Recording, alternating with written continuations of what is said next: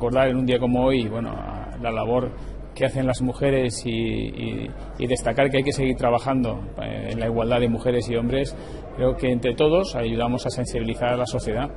Eh, se ha avanzado mucho, evidentemente, desde que iniciamos el primer plan de igualdad entre mujeres y hombres en, este ayuntamiento. Ahora estamos en el segundo. Seguimos eh, acometiendo acciones y propuestas para sensibilizar, como digo, a la sociedad.